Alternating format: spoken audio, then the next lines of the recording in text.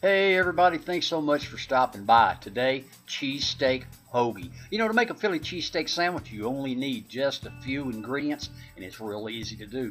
Today, we're taking the guesswork out of it. I found this in the frozen section at Walmart. John Soules beefsteak, pre-cooked, pre-seasoned. All you got to do is warm it up. It's really a delicious product. Throw it between some buns, and you've got a fantastic Philly cheesesteak sandwich. Stick around.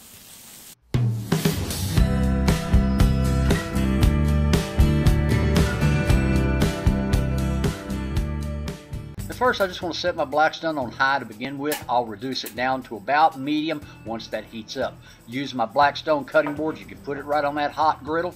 I'm going to cut up some green bell pepper into thin strips like you see here. And I'm also going to do that with a sweet onion. That's it. That simple. All right. Hit your griddle with a little bit of oil. Spread that around. And like I said, I've reduced my heat to about medium. Push off those veggies. Oh, look at that. Perfect. It smells wonderful. Hit the top with just a little bit of oil and some water to create some steam to help them soften a little bit. The full recipe and directions is listed in the description box below this video. Just click that show more button and it'll pull up all that information. Okay, we also want to season this with kosher salt, coarse black pepper. I'm also going to throw on some garlic powder. Stir that around for about 5-7 minutes until they soften. Then on that zone of the griddle, we'll turn that down to low, push those veggies aside just to keep them warm. The other side is about medium-high heat.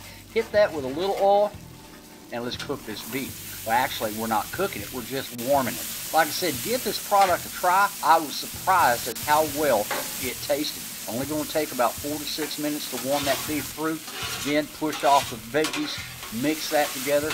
Look at that. It smells amazing and it's pretty too. All right, separate it into two piles. You can get two sandwiches out of one bag of that beef steak. Top it off with provolone cheese. You can also use Cheez Whiz if you prefer. Squirt a little water around there. Cover that up to help that cheese melt. And look at that ooey gooey cheese. Absolutely wonderful. All right, then throw it between some buns. And you've got a easy, delicious Philly cheesesteak sandwich. And like I said, you didn't have to do much with the meat, but just warm it up.